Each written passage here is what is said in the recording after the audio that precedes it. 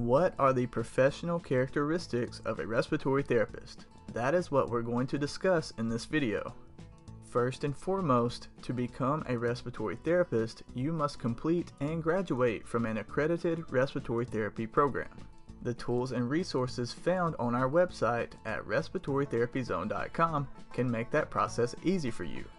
Then you must obtain the required professional credentials and you do that by passing the National Board exams. Our study guides and online courses have already helped thousands of students do just that. To maintain good standing as a respiratory therapist and to keep your license and credentials active, you must participate in continuing education activities or also known as CEUs. CEUs are designed to help you stay current with the latest information and technology in the field of respiratory therapy. You must adhere to the code of ethics put forth by the institution or state licensing board or both. Respiratory therapists maintain the highest practice standards by joining professional organizations such as the AARC or American Association for Respiratory Care. Thank you for watching this video.